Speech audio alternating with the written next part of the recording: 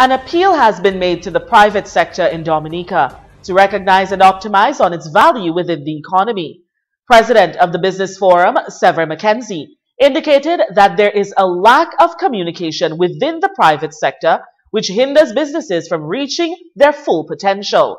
McKenzie made these comments at a private sector forum held at the Fort Young Hotel last week.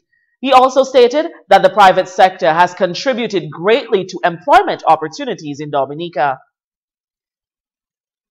If we consider that every employee in Dominica is only paid the minimum wage of $550 per month or $6,600 a year, then it is fair to conclude that the private sector's contribution to job creation in 2016 was a minimum of $97,402,800.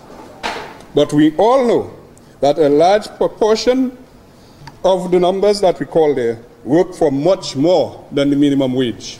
So we can understand the contribution that the private sector makes towards job creation. He added, although the private sector's contribution to job creation in 2016 was minimal, a large number of employees also got paid above the minimum wage, which would indicate that more money was contributed to ages. He noted that the private sector should recognize its value and relevance within the Dominican economy. Also making our headline